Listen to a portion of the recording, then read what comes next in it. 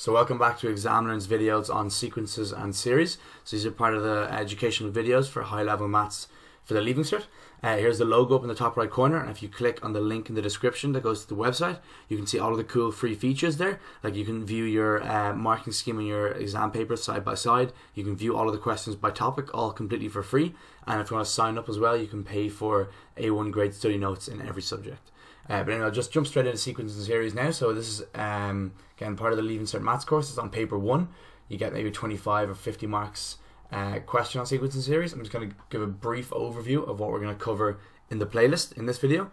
So first we're going to look at uh, arithmetic sequences, then arithmetic series, then geometric sequences, geometric series, infinite geometric series, quadratic sequences, and then picture sequences or patterns. So they sound more complicated than they are, to be honest. They're just kind of fancy words.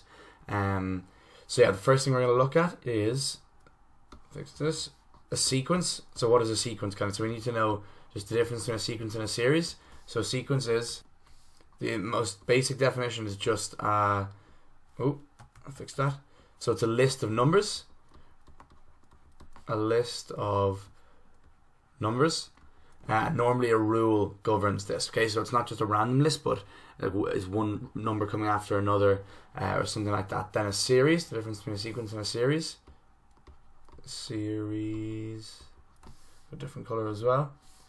Uh, it's basically a sum of a sequence. So, so it's all the numbers in a sequence added together. So go down here and I'll give you guys an example. So this here is a sequence of numbers. They normally say t of n for sequences. Okay, so t of n, you'll just get used to that.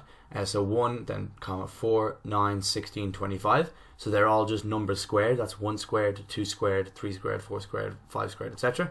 That doesn't really matter. So we're going to look then the difference between that and a series then. So just I'll say series.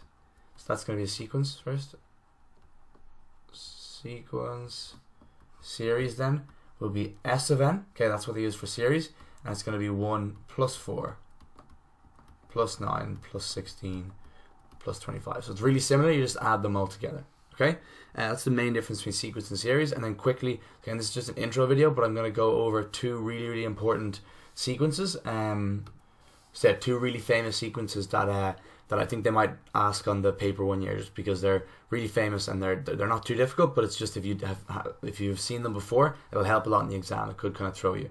So two famous sequences. The first one is called the Fibonacci sequence. Okay, Fibonacci like that, uh, and the sequence goes. It's one, one, two, three, five, eight 13, 21, and then it keeps going. So the rule here, I'll go green, it's two numbers before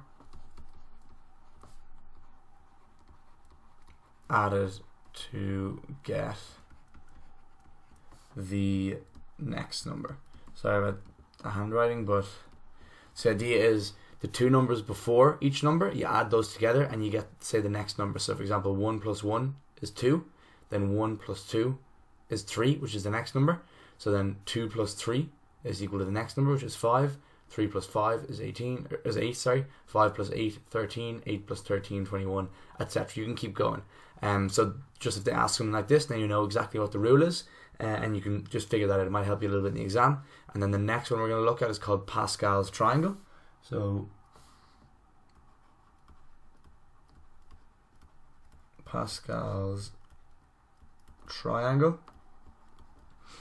Okay, and this is a bit of a weird one, so it's gonna go one, one, one, one, two, one, one, three, three, one, one, four, six, four, one, and so on. Okay, so what's happening in Pascal's triangle is uh, it's always ones along the outside like that, and um, yeah, it's it's the number in that's kind of like number in the, the next row is just add, you add together the two numbers on top of that. So for example, so th- these are all just one. Then this one here is going to be one plus one is equal to two here in the middle.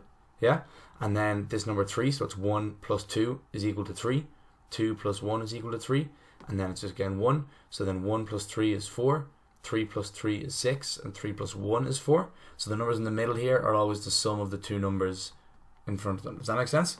Uh, so I just wanted to cover those just in case they do ask them. You don't need to know too much more about them. There are loads of cool things about these and they come up in nature all the time. But just for the leaving cert, as long as you can recognize them, that should definitely help you a lot. So yeah, again, that's uh, it for the intro. Um, don't forget to check out ExamLearn, like, subscribe and like to the videos. And if you want, you can just skip ahead to whichever topic you're struggling with. Or if you want to go through the whole thing in a row, uh, that's good as well. But so we you don't miss anything. So anyway, we'll see you in the next video. Hope you enjoyed this one.